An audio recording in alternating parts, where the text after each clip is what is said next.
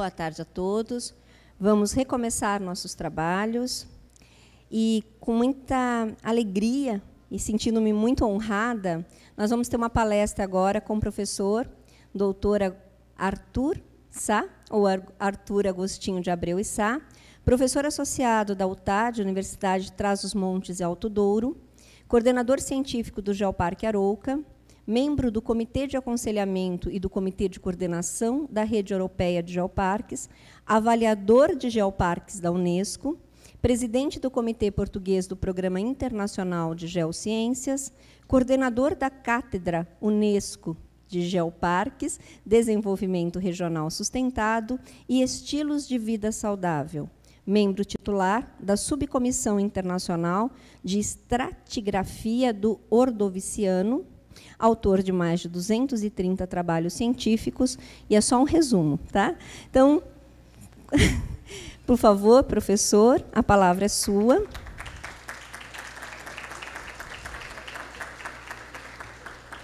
enquanto o professor se encaminha, eu quero só dizer uma coisa para vocês. Essa aula, essa palestra, foi tida para o Programa de Ensino e História das Ciências da Terra, como a aula inaugural desse programa de pós-graduação da Unicamp.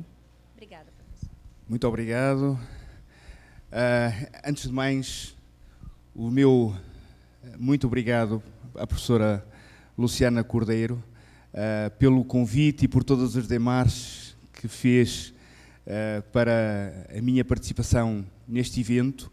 Uma saudação muito especial a todos vós que estão a participar também neste evento e a todos quantos em casa também estão a seguir através da internet este, este mesmo evento.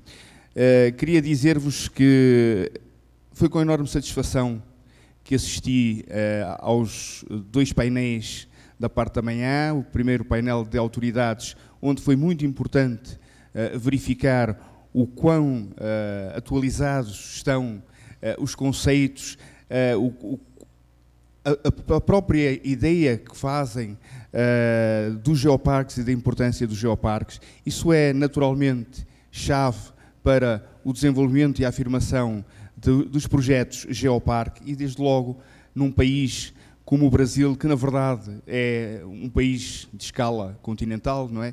Eh, eu costumo dizer que nós temos a União Europeia que tem 27 países, o Brasil é um país que tem 27 Estados.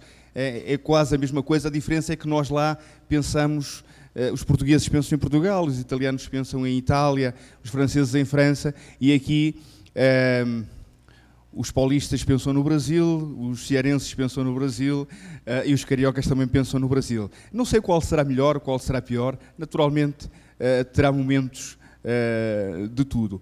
Mas nesta questão dos geoparques isso também conta, porque há algo muito importante que eu gostaria de dizer ou de relembrar, é que o Brasil faz agora 10 anos que tem um geoparque Unesco.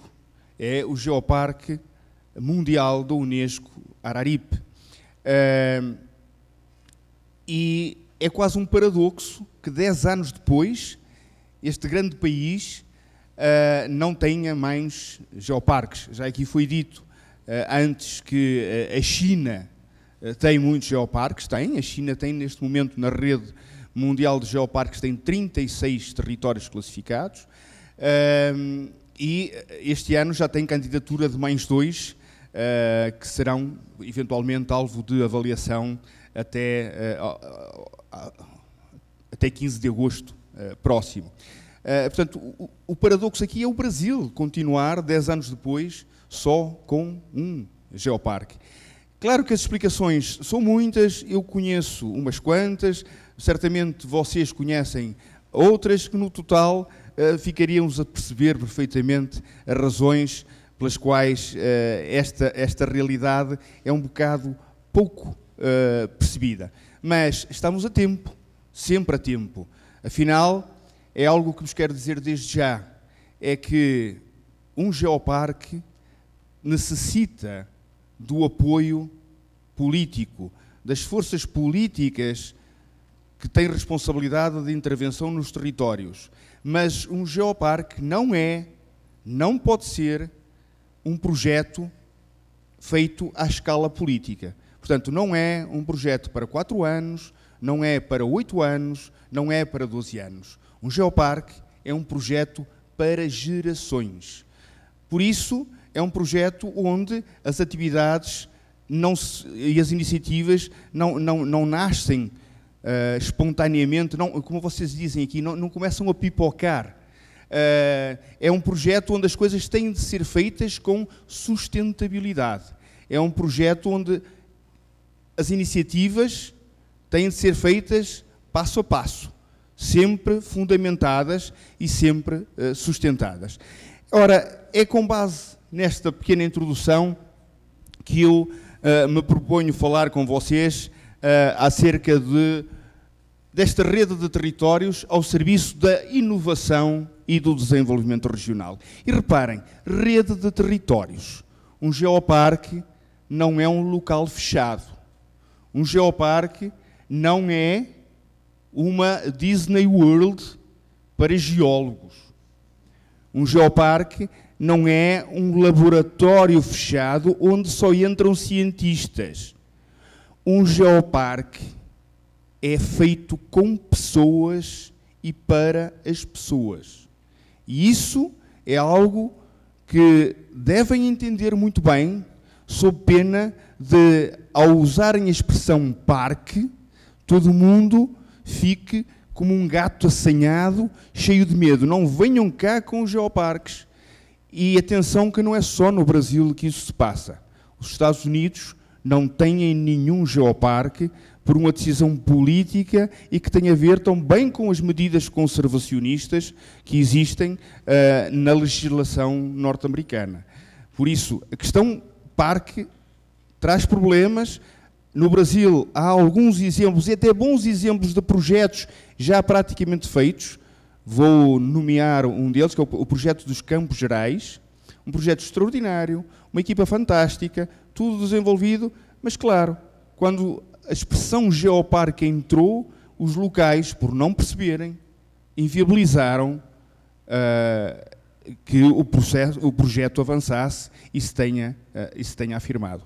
Um geoparque é, antes de mais, uma estratégia de desenvolvimento regional sustentado, feito com pessoa, feita com pessoas e para as pessoas. Portanto, é com essa base que eu começo a minha apresentação dando continuidade ao final da palestra do professor Celso, eh, quando ele falava na importância de colocar as geociências ao serviço da sociedade. Não faz sentido nenhum que o trabalho feito por meio milhão de geocientistas, é, o número atual de geocientistas são cerca de 500 mil, não faz sentido nenhum que este trabalho básico tão importante, porque tudo à nossa volta, praticamente tudo à nossa volta, é geologia, desde as fibras sintéticas ao cimento, aos metais, tem na sua essência o conhecimento geológico. Se nós não tivermos a noção disso, nós não percebemos. E como nós geólogos temos uma forma de comunicar, uma forma de falar muito hermética, eu costumo dizer, em tom de brincadeira, e, e sem desprimor para os meus amigos bascos, que quando dois geólogos falam um com o outro em geologuês, é muito pior que basco. É muito, eu não sou capaz de entender basco, por isso foi o exemplo que eu, uh, que eu encontrei. Uh, mas, de facto, educar em geociências é preciso. Nós temos bons exemplos desta realidade. E eu gostaria aqui de puxar um pouco a brasa à minha sardinha, como nós dizemos, e dizer-vos que eh, Portugal é um bom exemplo, porque no ensino eh, secundário, no ensino básico, terceiro ciclo, e no ensino secundário em Portugal, nós temos programas com geologia no sétimo ano de escolaridade, oitavo ano de escolaridade, décimo ano de escolaridade, décimo primeiro ano de escolaridade, décimo segundo ano de escolaridade. Ou seja, nós temos muitos dos nossos alunos, quando entram para a universidade, para a área das ciências, tiveram cinco anos de geologia de conhecimento geológico, o que é, sem dúvida nenhuma, nos tempos que correm, um ótimo, uh, um ótimo exemplo. E foi algo que durante muito tempo não existiu. A partir de, sensivelmente, 1993, foi decidido isto. Ora, portanto, educar em geociências para um desenvolvimento sustentável. Todo o conhecimento produzido pela geologia é fundamental para o desenvolvimento sustentável das sociedades. E assim é que a Unesco tem já há cerca de 44 anos um programa, que é o Programa Internacional de Geociências, cujo mote é exatamente Geociências ao serviço da sociedade. Uh, e nos seus 70 anos, celebrados o ano passado, em 2015, uh, a Unesco deu uma particular importância à questão das geociências e, em particular, dos geoparques. Mas já lá vamos porque há pouco, quando falava, ouvimos aqui falar de geoparques na mesa, muitas destas palavras apareceram aí. Proteger, valorizar, dinamizar, educação, sensibilização ambiental, eh, desenvolvimento sustentável, emprego inclusivo, qualidade, excelência, bem-estar, cultura. Portanto, se vocês pensarem, muitas daquelas palavras já aqui saíram hoje uh, nesta mesa. E, de facto, o geoparque é tudo isto e muito mais. Ora, nós temos uma, atualmente uma rede, também já aqui foi dito até na introdução, é uma rede de territórios, um geoparque é um território, não esqueçam, é um território, uh, em 33 países uh, e 120 geoparques. Esta é a realidade atual, que muito provavelmente irá mudar, não este ano, mas no próximo. Embora este ano sejam uh, reconhecidos novos geoparques, e oficializados só são na Assembleia Geral da Unesco. Ora, a próxima Assembleia Geral da Unesco será em novembro de 2017. Porque a partir do ano passado, em 2015, os geoparques passaram a ser um programa oficial da Unesco, com exatamente o mesmo valor do património mundial e exatamente o mesmo valor das reservas da biosfera. São territórios Unesco, são territórios com, uh, reconhecidos pela Organização das Nações Unidas para a Educação, Ciência, Cultura uh, e Comunicação. Ora, então o que é um geoparque? Já aqui foi dito também, é um território com um património geológico singular e em que alguns elementos são de importância internacional. Mas também é uma estratégia de desenvolvimento sustentado que envolve as comunidades locais o Grande Canyon dificilmente ou nunca será um geoparque. Porquê? Porque não tem pessoas. Um geoparque tem de ter pessoas dentro. Por isso é que, além do património geológico, o geoparque deve usar como eh, eh, deve usar também esse património geológico como ferramenta primária da promoção turística, mas deve dar igual ênfase e atenção à promoção das ocorrências arqueológicas, ecológicas, históricas e culturais do território. Ora, o melhor é irmos lá pela negativa. O que é que não é um geoparque? Olhem, não é apenas uma área com património geológico extraordinário. Se for só isso, nunca será um geoparque. E se calhar vocês agora começam a perceber que no vosso imenso país há muitas áreas que, pela dificuldade de acesso, eh, pela inexistência de populações em redor, apesar de terem ocorrências geológicas singulares, aquele local não reúne condições para ser um, uh, um geoparque. Também não é um pequeno ou simples local de interesse geológico. Por muito bonito que seja, por muito importante que seja, um só geossítio não faz um geoparque. Como nós dizemos em Portugal, uma andorinha não faz a primavera. Neste caso, um geossítio não faz um geoparque. Não é uma área vedada só para cientistas. E aqui também já foi, foi, falamos uh, das áreas de proteção, onde às vezes dá a sensação que os cientistas definem a área definem o perímetro da área, só com a vontade daquilo passar a ser o quintal privativo deles, o jardim privativo deles, onde eles vão entrar e só eles é que podem entrar. Todo o resto é assim uma espécie de ignorantes brutos que, se entrassem, destruiriam eh, selvagemmente aquilo. Ora, há uma questão que é muito importante: é que proteger é muito diferente de proibir. Porque no momento em que nós proibimos, nós estamos a condenar. Não tenham a menor dúvida acerca dessa questão. No momento em que nós proibimos, nós estamos a condenar. Porquê? Porque estamos a sonegar o conhecimento. Estamos a sonegar a educação. E uma sociedade futura não educada não conhece e, como não conhece, não valoriza. Ao não valorizar, destrói na primeira oportunidade. Não pensa duas vezes o geoparque não é um parque geológico temático, nem é uma área sem o envolvimento da comunidade. O geoparque é inclusivo. Todas as pessoas fazem parte do geoparque. É por isso que é muito difícil gerir um geoparque. É a tarefa mais árdua. Nós, para termos uma discussão, só precisamos de duas pessoas. Bem, eu sei que alguns até discutem com eles próprios, mas isso. Uh, nós, para gerir pessoas, gerimos vontades, gerimos pontos de vista, gerimos opiniões, e isso é muito complexo. E o geoparque também não é uma área sem uma estratégia de desenvolvimento económico sustentável. Isto nós estamos a falar de renda, nós estamos a falar de dinheiro, nós estamos a falar em incrementar, nós estamos a falar em incrementar as condições de vida sociais e económicas da população. Portanto, nisto também vamos falar de dinheiro. E mais lá para o fim da minha apresentação, eu vou-vos trazer números, eu vou-vos mostrar números. Ora, uma pergunta então. Vamos lá começar a sistematizar. Um geoparque é apenas sobre geologia? A resposta, obviamente, é não.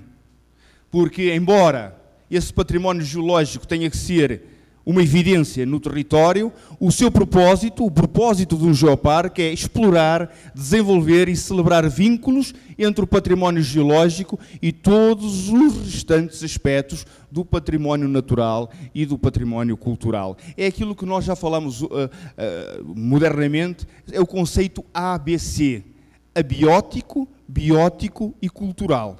E dentro do cultural nós temos ainda o tangível e o intangível que têm muito valor, porque são as realidades que unem, afinal de contas, o quê? O homem à Terra, a esta Terra fantástica que tem uma história de 4.600 milhões de anos. Ora, afinal de contas, trata-se de reconectar a sociedade humana a todos os níveis com o nosso planeta, a que nós chamamos a nossa casa, eh, e celebrar uma longa história destes 4.600 milhões de anos que moldou as nossas vidas e as nossas sociedades. E eu quase podia terminar aqui a minha apresentação com este slide.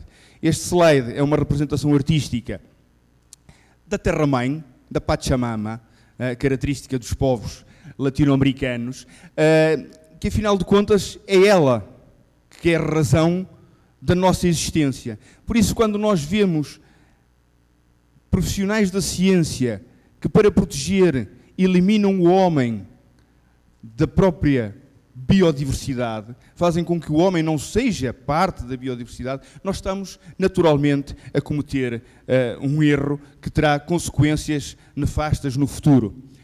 Ora, eu, vou, eu trouxe aqui uma adaptação de uma expressão uh, de um colega britânico, uh, gestor do Geoparque de North Pennines, que diz que os geoparques não são apenas pedras, pois são desde logo as pessoas e é crucial que estas sejam envolvidas no processo de criação, afirmação e desenvolvimento destes projetos. Nós queremos ver o máximo de pessoas a percorrerem o território do Geoparque e a apreciarem a geologia da área.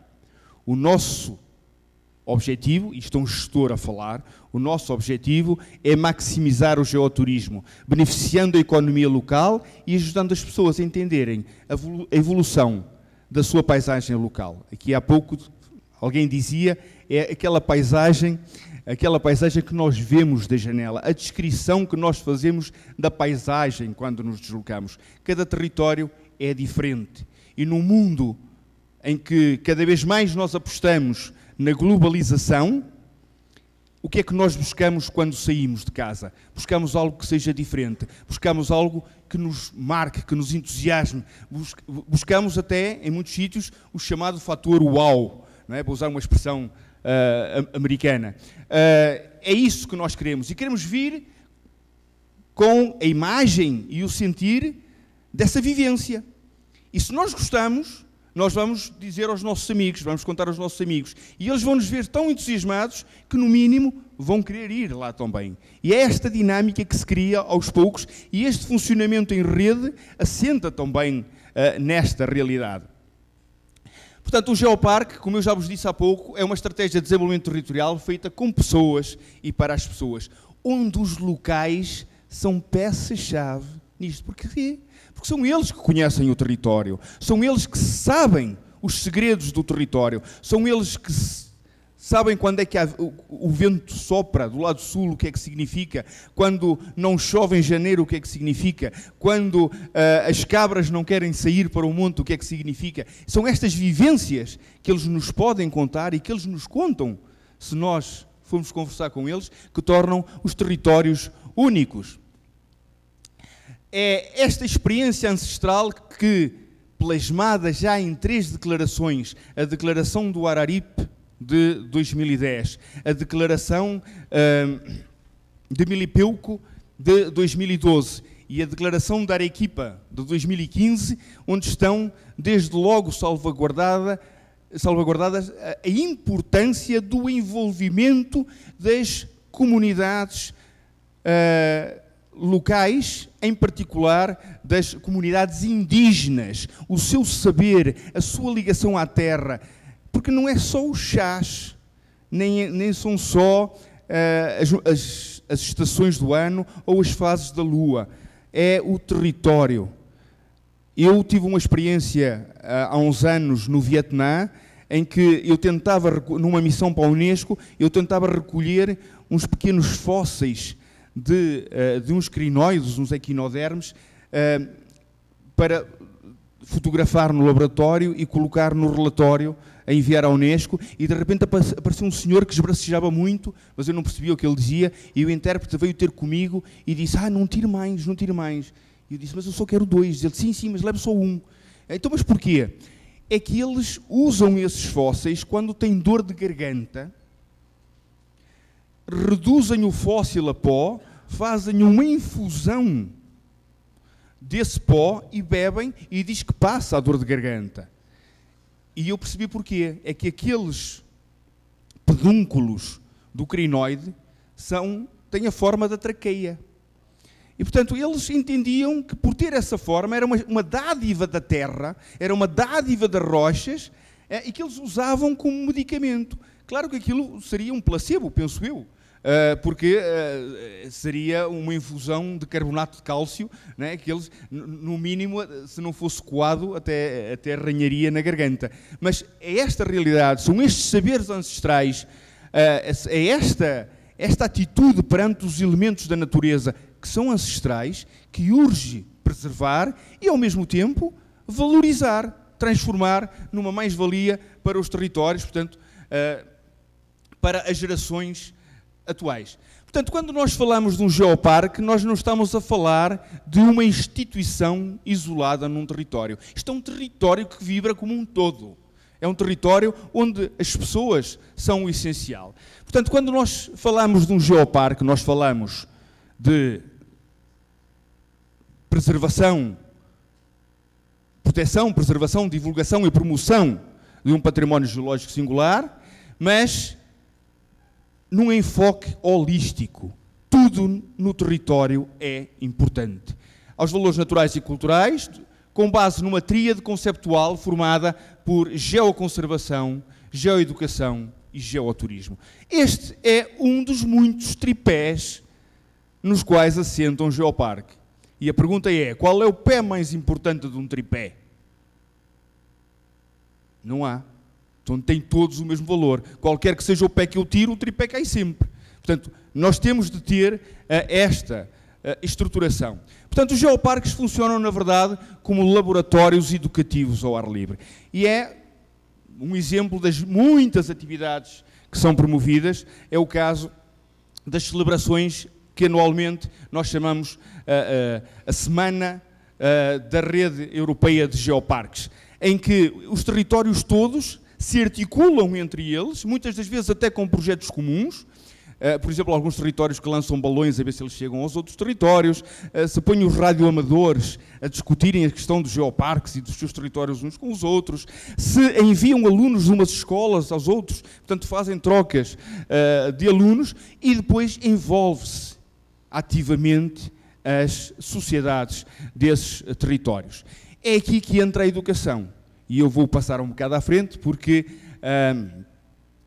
a Thaís Guimarães já nos brindou aqui com uma bela apresentação, o professor Celso também já nos brindou com, com uma uh, ótima uh, apresentação, a professora Roseli também, uh, mas um geoparque, como aqui foi dito, aposta em complementos de educação formal.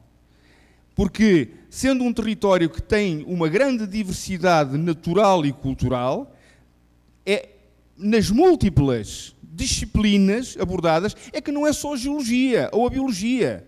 Pode ser a matemática, pode ser a história, é? pode ser a sociologia, pode ser a economia. É? O Geoparque é, por definição, um campo perfeito de estudos em ciência. E, portanto, a educação formal é, desde logo, uh, complementada com muitas uh, atividades que muitas das vezes, olhem, levam a que o carnaval possa ter, porque não, as trilobitas gigantes de Arouca. O bonito nisto é que foram os meninos quem fizeram as máscaras, mas quem ajudou foram os pais, não as mães, os pais, que por norma chegam cansados ao fim do dia à casa, mas junto com os professores, eles foram à escola ao fim do dia e durante uma semana ou duas trabalharam reciclando materiais, reciclando materiais, e depois a parada de carnaval, não é? O, o, o sambódromo lá do sítio, uh, o sambódromo da terrinha, não é? Teve ali uh, umas uh, trilobitas gigantes. Ou então explicar aos meninos como é que os povos primitivos do Mesolítico ou do Neolítico faziam as pinturas rupestres, em particular as mãos em negativo. Eh, como neste caso no Geoparque de Sobrarbe, eh, em Espanha. Ou, algo muito importante, o saber, o saber de experiência adquirida das pessoas mais idosas, que são convidadas a participar no processo educativo, em que complementam a informação que vem nos livros, com histórias, com o seu saber, e que depois levam a que aquilo que antes era vergonha, ai, eu não vou vestir aquele fato horrível, aquele fato de saloio. Não, é? não, eles depois têm orgulho em usar aquilo que durante muito tempo era identitário, que era o, uh, e hoje é folclórico, naturalmente, mas que durante muito tempo era identitário do vale, ou da montanha, ou da, ou da planície, que são os trajes tradicionais. Uh, também a educação não formal em oficinas específicas. Esta, que teve muito êxito na, no Geoparque Araripe, uh, onde eu assisti ao desenvolvimento de toda a atividade. A atividade era sobre dinossauros, era destinada a meninos de vários anos, portanto não era um, um complemento formal, mas era um complemento não formal. E no fim, aquele menino de 5 anos veio a correr atrás de mim e disse assim: Não tiraste uma fotografia ao meu Stegosaurus. Não foi ao dinossauro. Não tiraste uma fotografia ao meu Stegosaurus. E na verdade aquilo é um Stegosaurídeo perfeito, tá? não falha nos, nos detalhes. Isto é avanço no conhecimento. Eu, com 5 anos, nem sequer sabia o que era um dinossauro. É? Portanto, é, isso em que nós temos depois, olhem, por exemplo, as trilobites pintadas? As mais bonitas trilobites que eu já vi. Eu já procurei muitas trilobites, saem-me sempre umas trilobites que para mim são fabulosas, mas nenhuma tão bonita né? É, como, como, aquelas, que eles não esquecem, porque depois levam de recordação uh, para casa. Mas depois temos projetos educativos em que se envolve a comunidade, em que se leva pais e filhos, miúdos e graúdos, para o campo, né? Este no Geoparque de Schwabenalb, eh, na Alemanha, eh, em que eles procuram fósseis, eh, apenas por diversão, diversão de fim de semana, ou aquele no Geoparque de Itoigawa, no Japão, onde as pessoas vão procurar pequenos minerais coloridos, verde, portanto, olivinas, peridotos, granadas, na, na areia da praia, uh, fazer uma coleção e tentarem perceber de onde vêm aquelas rochas e porque é que aqueles minerais são formados, uh, ou atividades de enriquecimento curricular, como esta, uma atividade que, uh, que, em Portugal está muito em voga, que se chama Ocupação Científica de Jovens nas Férias. É? Os pais trabalham e os miúdos, muitas das vezes, ficam a ver passar os dias. Então eles vão para as universidades, vão para os laboratórios e trabalham, eh, muitas vezes a fazer aquele trabalho que é repetitivo e que eles depois de fazerem uma ou duas vezes já não falham. Eh, no meu caso, o meu, trabalho, o meu laboratório ou o campo, eu levo-os comigo para procurarem fósseis. Já fiz isso muitos anos uh, e devo-vos dizer que com resultados fantásticos, porque para se encontrar fósseis a premissa número um é que é necessário partir muita pedra. Ora, é uma espécie de, de mão, mão, de obra escrava, não é escrava porque eu não os obrigo, eles não são obrigados. É, mas, na verdade, às vezes é, é, é, é necessário mandá-los parar porque aquilo é uma espécie de febre do fóssil em que todos querem encontrar mais e mais fósseis e, de preferência, mais bonitos. Ou os cursos sobre geoparques. É que os cursos sobre geoparques existem para ensinar a criar geoparques, mas também para ensinar a desenvolver iniciativas nos geoparques. É para gestores, mas é também para stakeholders. É também para aqueles que no território investem em iniciativas, em ideias, em projetos e, e, portanto, vão em busca de aprender mais, saber mais, estarem mais atualizados. Uh, muitas das vezes, este foi um curso de geoparques em Hong Kong. Dentro de, dentro de um mês estarei na, na, na Coreia do Sul para um outro uh, geoparque destinado uh, a gestores de geoparques do, do Sudoeste Asiático. Portanto, hoje por todo o mundo há esta realidade. É? E as atividades para o público em geral, falham aqui, uh, que, é, que são promovidas pelos geoparques para levarem as pessoas a conhecerem melhor os seus territórios e muitas das vezes esse conhecer melhor levam a que eles sejam eles próprios os guias. São os rangers dos geoparques, são os guias intérpretes dos geoparques, são aqueles que uh, vão aprender o significado das rochas que estão ali na paisagem, mas que aqui estão mais próximas e que podem até tocar ou expli explicarem, por exemplo, as uh, cavernas de gelo no Geoparque de Toya Caldeira e o Sul, também no Japão. Ou explicar um, um, rochas em afloramentos singelos, aparentemente sem história nenhuma, mas que no fim aquilo tem uma história maravilhosa, não é? Cheia de cor e de anos e de acontecimentos, ou aquilo que causa sempre impressão, boa impressão. Uma carta geológica é sempre um pedacinho colorido, muito bonito, uh, da superfície terrestre, que, está, que nos permite olhar para as rochas de uma outra forma. As exposições temporárias, educação não formal e educação informal, uh, são sempre muito atrativas uh, porque nos permitem aprender com vários níveis de informação. E outras atividades educativas de promoção e divulgação pública. Por exemplo, as feiras de geoparques, ou como no caso do Geoparque Araripe, há pouco tempo havia um grafite no Crato uh, que uh, tinha sido feito com a temática do Geoparque Araripe. E era algo que efetivamente impressionava, porque qualquer pessoa entrar no Crato uh, via logo de frente aquele. Ou então o Festival de Música Celta na Irlanda a tradição e a importância do conhecimento de uma música que é identitária de um povo.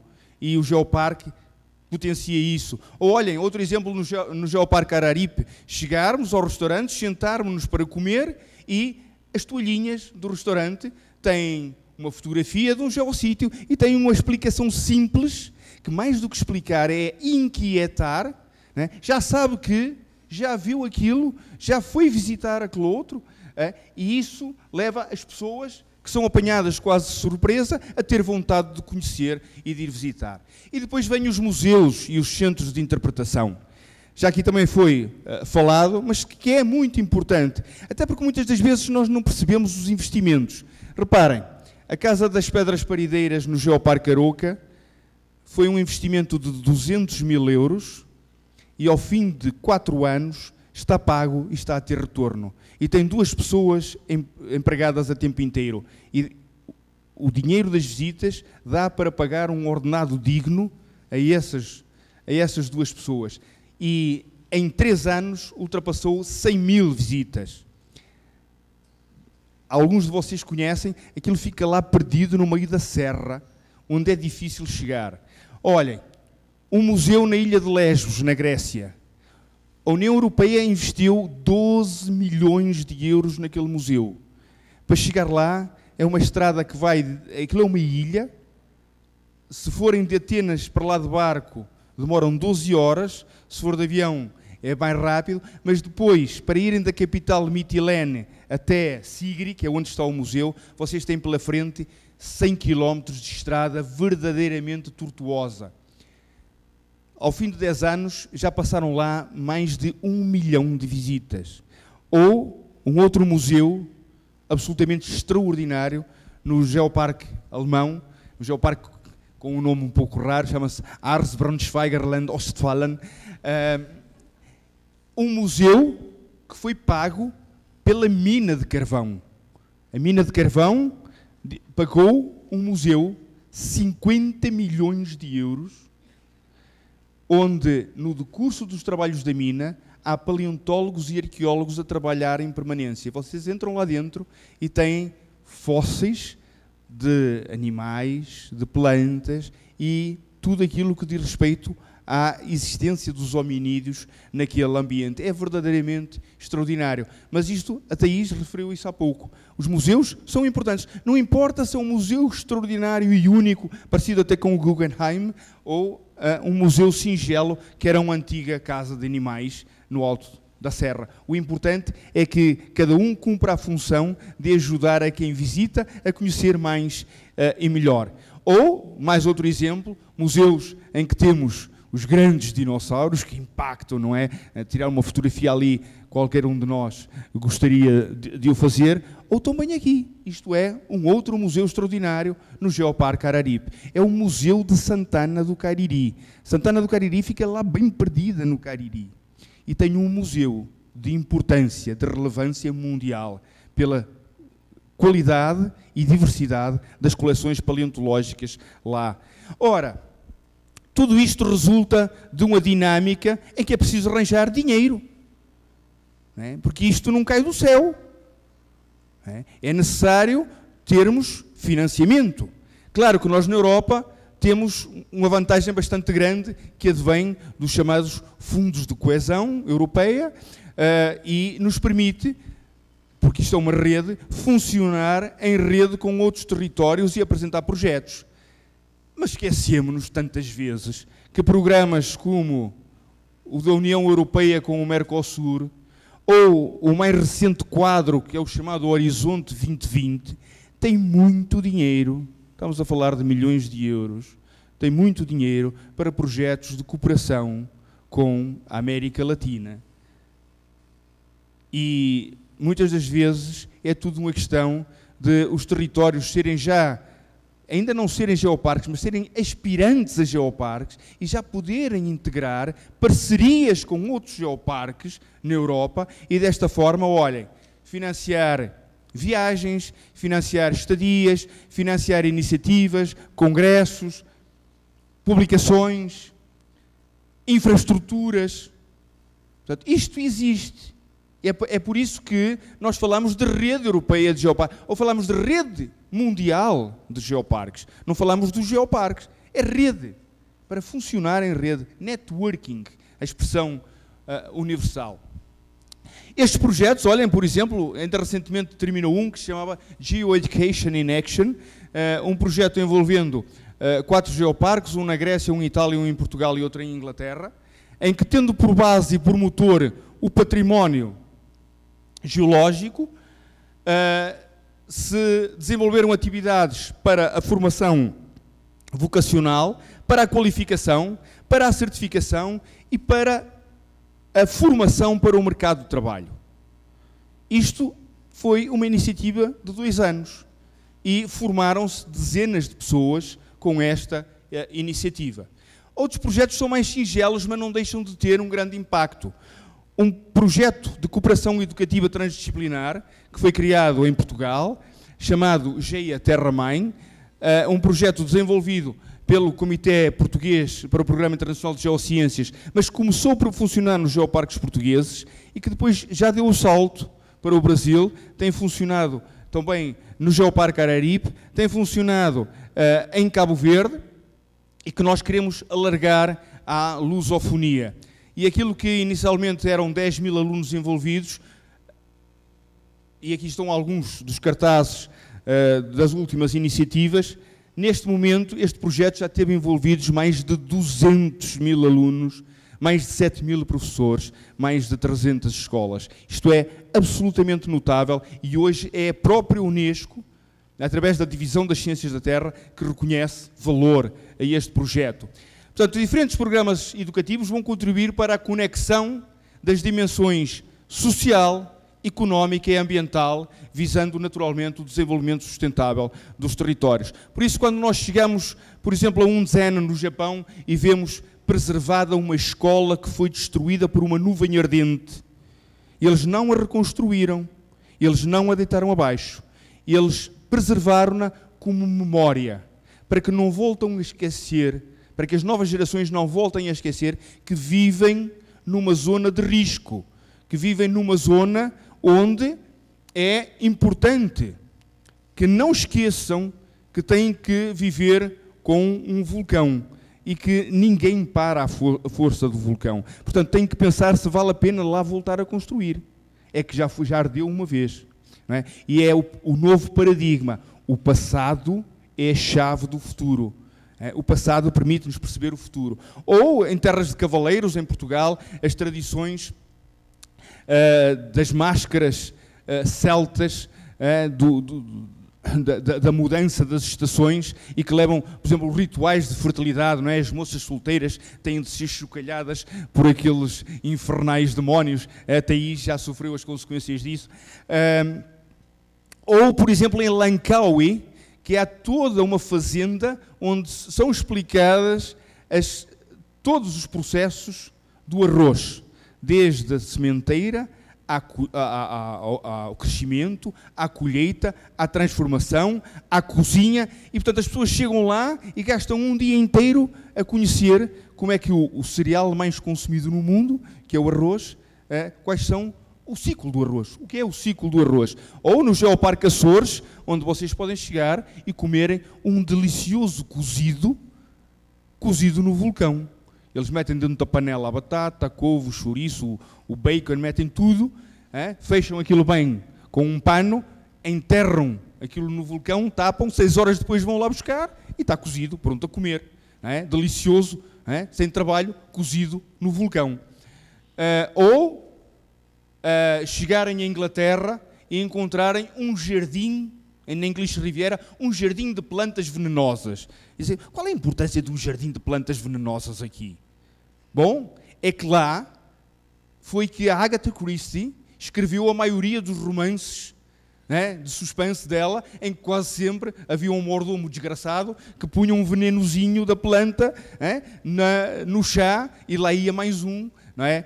Uh, ora, tem, tem lá essas plantas todas, não é? Uh, as plantas que constam dos romances de Agatha Christie estão todas naquele jardim. Ou chegarem, por exemplo, a Vulkaneifel na Alemanha, e onde temos um geyser, mas é um geyser frio. Mas é um geyser como o Old Faithful uh, em Yellowstone. Também entra em erupção tão certo como um relógio. Portanto, se nós tivermos um problema na corda ou na bateria do relógio, podemos acertá-lo pelo geyser, com a diferença que aquele é frio funciona só com a pressão do dióxido de carbono acumulada. Ora, para isto tudo é preciso informação. E eu gostaria agora de chamar a atenção do seguinte: é que já aqui falamos muito de informação, já aqui falamos muito de painéis, já aqui falamos de folders, já aqui falamos de cartazes. Eu queria vos chamar a atenção para aquilo que um autor americano, Freeman Tilden, escreveu em 1957. E vocês podem ir à internet e procurar por Freeman Tilden 1957 e conseguem baixar o PDF desta obra notável, notável, eh, de alguém que viu muito além do seu tempo. E ele dizia o seguinte: torna-se estéril qualquer valorização do património geológico, entenda-se, qualquer valorização, do, neste caso não era geológico, era do património natural, uh, qualquer cartaz, qualquer informação que não se adeque de um modo ou de outro à personalidade ou experiência de vida do visitante. E nós vemos tantas vezes isto. Nós às vezes encontramos cartazes que são autênticas classes da universidade, né, em que até os especialistas têm dificuldade em perceber. Eu lembro-me sempre de, na Alemanha, ter encontrado uns cartazes que, para me explicarem uma rocha basáltica, para aqueles que são geólogos, tinham aqueles terríveis diagramas de fase triangulares, que aquilo até para mim é um sacrifício, confesso, uh, interpretar aquilo. Portanto, eu presumo que muitas das pessoas que lá iam devem ter ficado a pensar, como aquilo era triangular, que se calhar as pedras que ali faltavam tinham ido para o Egito para fazer as pirâmides. Outra coisa que ele dizia era: a informação não é interpretação. E nós tantas vezes confundimos informação com interpretação. A interpretação é uma revelação baseada na informação. Ambos os conceitos são completamente diferentes, embora toda a informação contenha, to, perdão, toda a interpretação contenha informação. Cada ponto de interpretação deve provocar e despertar curiosidade, além de emocionar muito mais do que pretender apenas ensinar. Por isso, professora Luciana, deixe-me que lhe diga, ainda bem que se esqueceu do PowerPoint, porque a emoção e a paixão que pôs aqui naquilo que disse foi efetivamente muito mais informativo do que muito bonito seria o seu PowerPoint, não tenho a menor, a menor das dúvidas. Uh, por isso é que tenham atenção no seguinte, quando fizerem informação, quando fizerem um, um, um painel para ter no terreno, depararmos com um painel é sempre um ato acidental. Se pomos demasiada informação, ninguém vai ler. O mais certo é apanharem uma pedra do chão e destruírem o painel. Ou fazerem pior, tirarem a pistola e darem dois tiros no painel e matá-lo. Isto que eu estou a dizer acontece. Há pouco tempo, na Alemanha, dizia-me um colega: esta é a quarta geração de painéis e estes estão feitos num material que resistem a tiros de pistola 635. E eu disse: puxa, na Alemanha também? Diz ele: já vamos na quarta geração. Chego ao Vietnã e tinha uns painéis fantásticos feitos em granito, em granito não, era um gabro, uma rocha negra, um granitoide negro, é, com as letras a dourado. Estavam quase todos destruídos à marretada. Porque aquilo estava numa linguagem que nenhum dos habitantes percebia. Então eles pensavam que aquilo era uma espécie de pedra tumular e destruíam-nos. Não tinha informação. Portanto, às vezes vale mais uma pergunta ou uma frase forte que inquiete que leva as pessoas a ficar a pensar, a matutar naquilo, mas o que é aquilo? O que é que eles querem dizer com isto? Do que uma grande explicação. Porque a grande explicação, quem não quiser vai atrás dela. É, hoje, com as novas tecnologias, olhem os QR codes, não é, que a gente consegue ir uh, subir patamares de informação até chegar ao grande manual, ao grande livro uh, que todos queremos. Por isso, cá estão, por muito bonitos que possam ser, não devem ser aulas porque ninguém vai ler aquilo. E não esqueçam, uma imagem vale sempre mais que mil palavras. Porque o desenvolvimento sustentado dos territórios geoparques implicam a preservação e a promoção do património geológico. Estas são as minhas bichinhas de estimação. É? São estrelobites gigantes de Arouca que a partir do momento em que em 2003 começaram a aparecer nos artigos científicos, atraíram gente de todo o mundo, até chineses, hein, que vêm lá para estudar e, e, claro, não vão embora sem fazer uma fotografia. Uh, também é preservar o património cultural.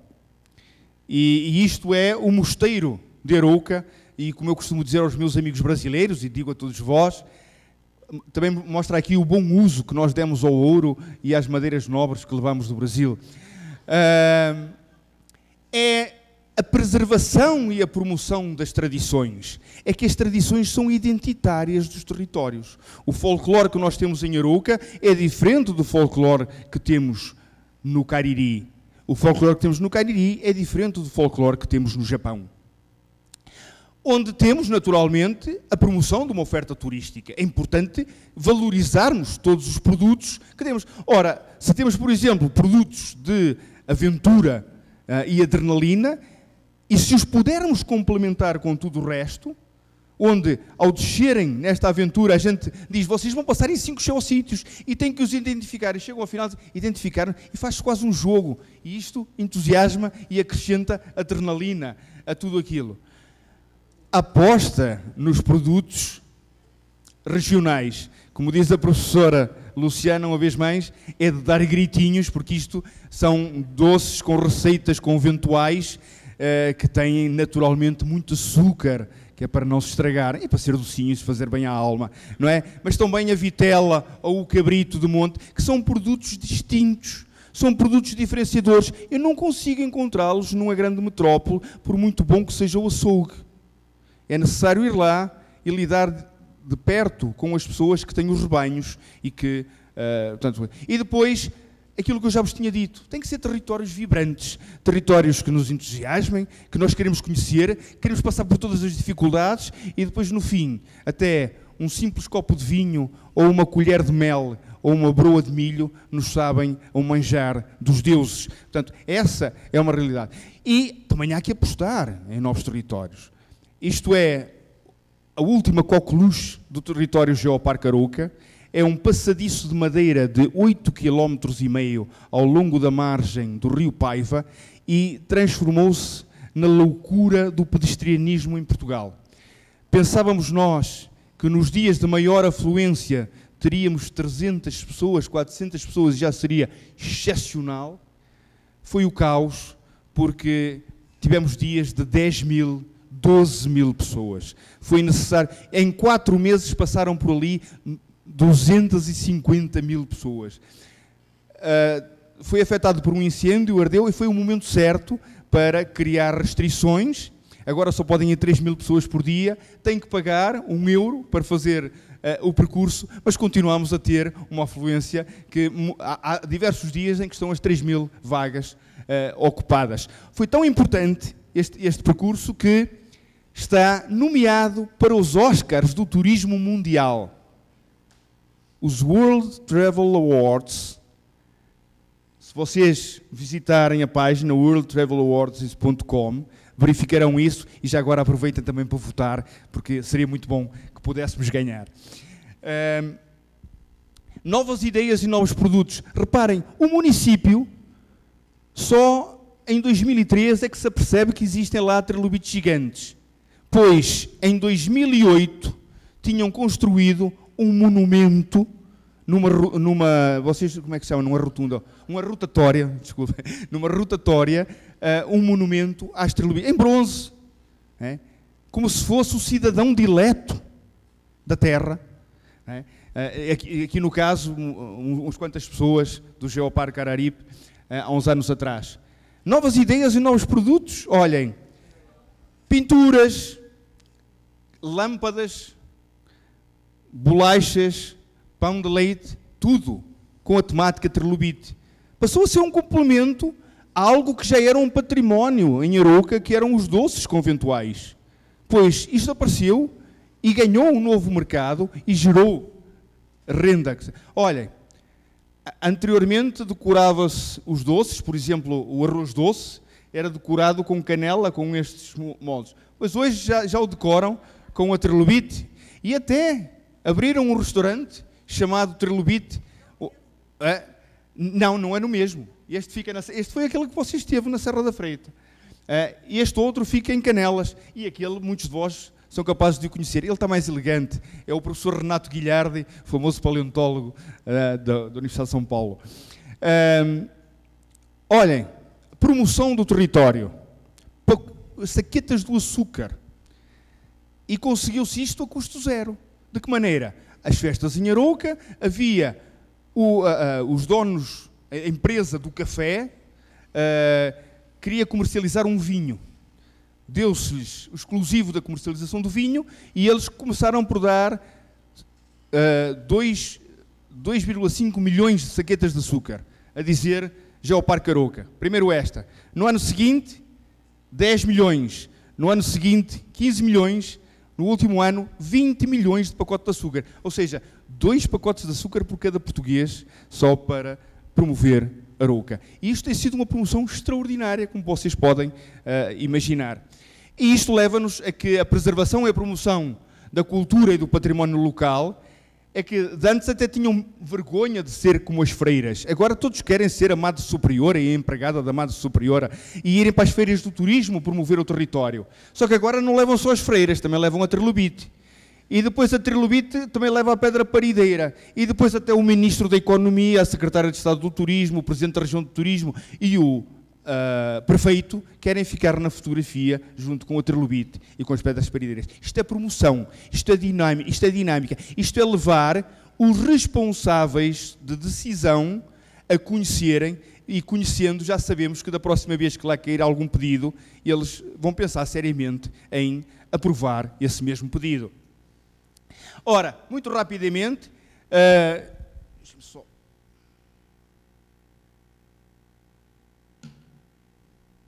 muito rapidamente, dar-vos o exemplo do Geoparque Aroca, a visão do território. E a visão é tornar-se um destino de excelência turística e um espaço de referência nacional e internacional para a aprendizagem e o aprofundamento do conhecimento científico, conjugando o património geológico com a cultura, a gastronomia e o restante património natural e cultural. Falta ali. Uh, o objetivo geral desenvolver a área do Geoparque Aruca de forma sustentável, com base no património geológico, no ambiente, na cultura e na educação, promovendo o conhecimento científico e o geoturismo. Isto são os pilares que levam a equipa técnica e a direção do Geoparque Aruca a trabalhar todos os dias em prol do desenvolvimento do território, com objetivos específicos e estratégicos, eu vou passar à frente, mas que, por exemplo, passaram pela certificação da marca Geoparque Arouca. Ou seja, há ofertas no território, há produtos, hum, há atividades, há pontos de venda que, pela sua singularidade, merecem ser certificados, ter um selo de qualidade. E isso Uh, está devidamente regulamentado e todos podem aplicar a isto. Se reunirem as condições que estão uh, definidas à partida, recebem este selo de qualidade e os seus produtos passam a ter este selo. Aqui temos o empresário, a presidente da direção uh, da Associação Geoparque Aroca, a entregar o diploma, o certificado e os produtos já à venda com o selo de qualidade. Apesar de serem produtos característicos, produtos já conhecidos, o facto de ter o selo é uma espécie de garantia ao comprador e um estímulo a que compre. Ou, por exemplo, a Geobox. A Geobox é uma caixinha muito bonita que pode ser comp comprada e oferecida como prenda uh, em qualquer altura especial a um qualquer amigo, mas que dentro o que é que tem? Tem um conjunto de vouchers e estes vouchers são de restaurantes, são de hotéis, são de pastelarias, são de cafés, são de, de, de eventos em que a pessoa depois usa aquele valor, neste caso 100 euros, usa este valor para pagar aquilo que mais custou. Portanto, pode selecionar aquilo, aquilo que quer.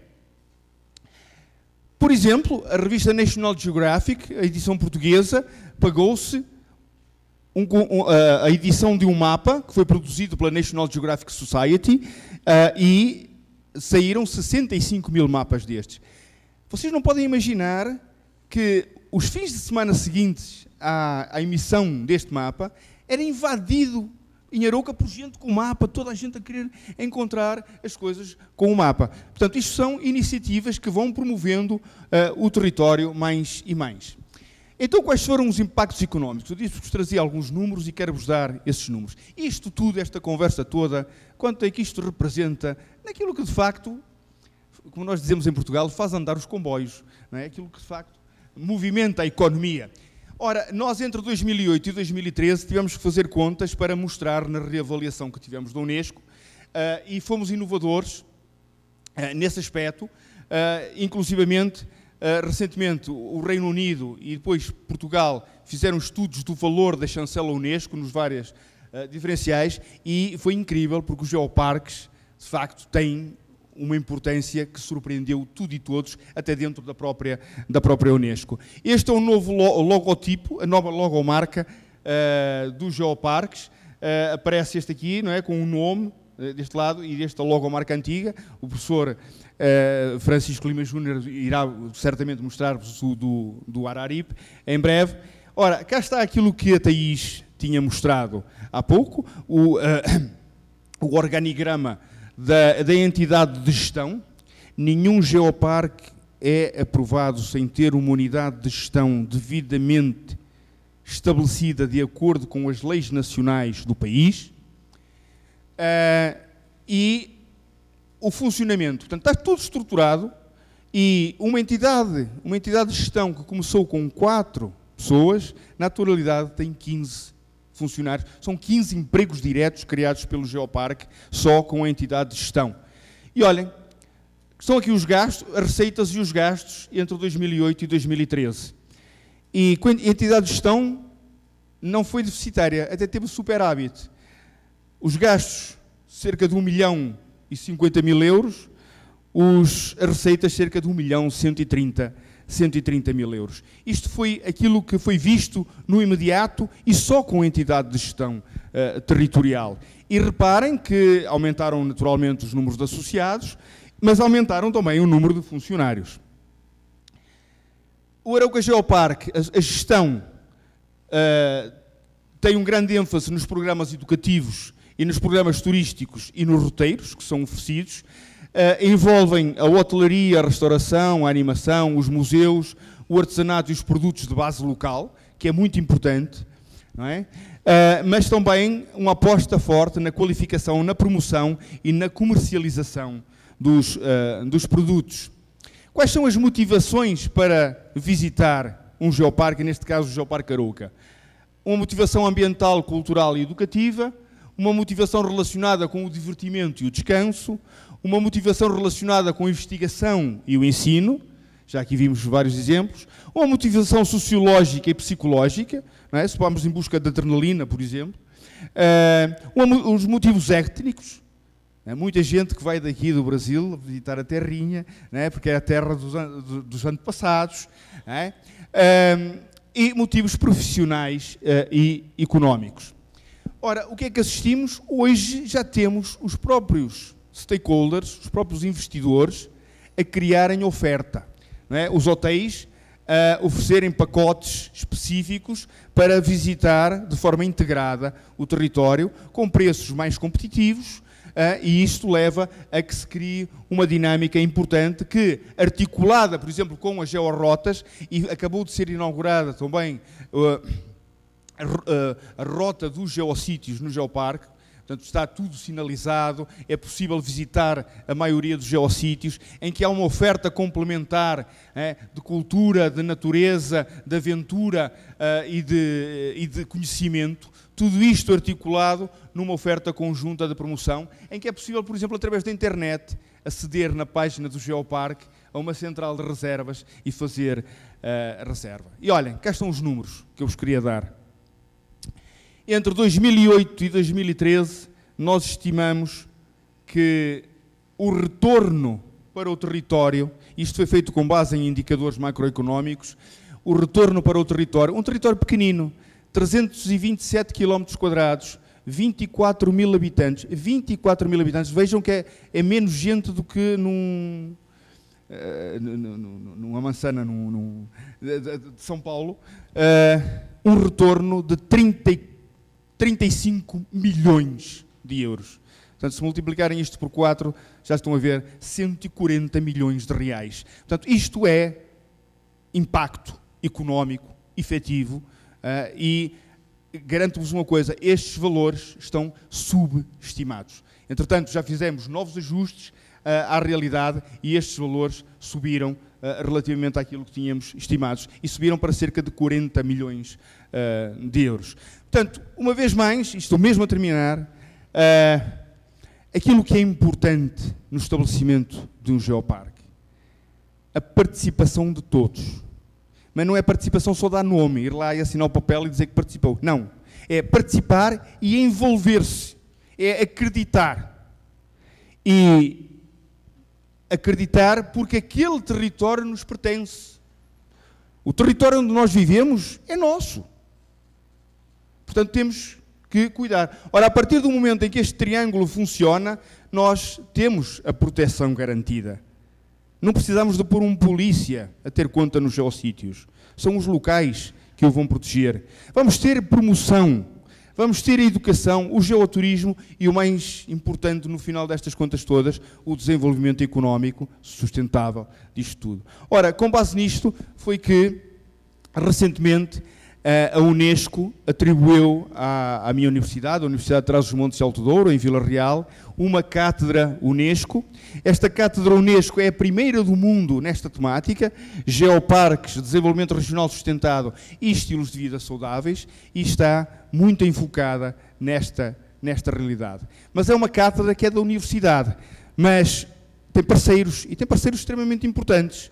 Tem mais sete universidades, a Universidade Agostinho Neto de Angola, a Universidade Eduardo Mondlane de Moçambique, eh, a Universidade de São Luís de Potosí no México, a Universidade Nacional de Tucumã na Argentina, a Universidade Regional do Cariri no Brasil, a Universidade Federal de Pernambuco no Brasil, a Universidade Complutense de Madrid em Espanha e a Universidade de Atacama no Chile.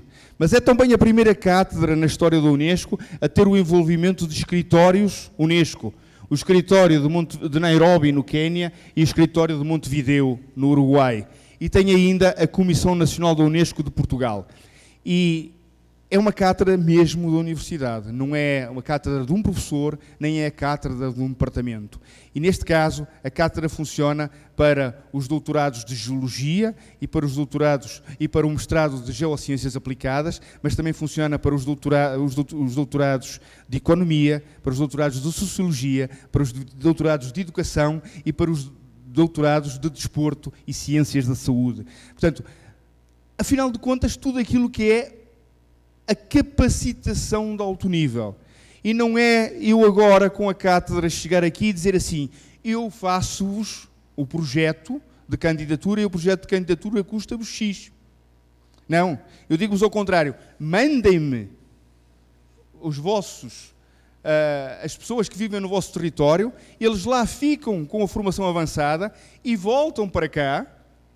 O trabalho que lá vão desenvolver já é o dossiê de candidatura e quando eles voltam para cá, vêm capacitados para dar formação aos outros níveis, é, para porem a funcionar o geoparque. E o custo do trabalho é muito menor e é muito mais e é muito mais efetivo. Eh, e eu deixava aqui, já que estou na, na Unicamp, deixava aqui um convite uh, aos responsáveis para, se assim o entenderem e entenderem que pode ser profícuo, e até porque as universidades já têm protocolos de cooperação ativo, eh, de a Unicamp também se associar a esta, eh, a esta cátedra, onde temos três centros de investigação, todos altamente Uh, classificados. O Centro de Geociências foi classificado como excelente e o CITAB e o CETRAD na área da Biologia, das Ciências da Vida e na área da Economia, que foram classificados com, área, com, com muito bom uh, pela Comissão Internacional de Avaliação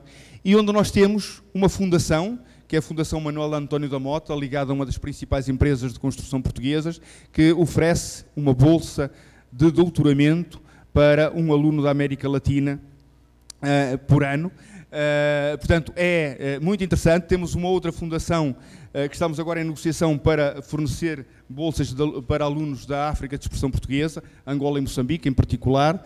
E, portanto, isto é uma nova realidade na, na área dos geoparques. Vocês irão poder ver nos próximos tempos muitas atividades, cursos, workshops, seminários, uh, diferentes iniciativas feitas no âmbito desta cátedra, um pouco pela América Latina, pela, uh, pela Península Ibérica e pela África de expressão portuguesa, afinal de contas, com aquela uh, ideia muito importante para a Unesco, que são as relações Norte-Sul, Norte-Sul-Sul e Sul-Sul. E aqui é a língua que nos une. Por muito, muitas asneiras que eu possa ter dito a utilizar palavras menos, menos comuns para vós ou com outro, com outro significado daquelas que têm para mim, uh, na verdade, a língua é aquilo que nos une. Teria sido certamente mais difícil para vós, ou para mim, se eu tivesse chegado aqui e falasse em inglês ou, ou em francês.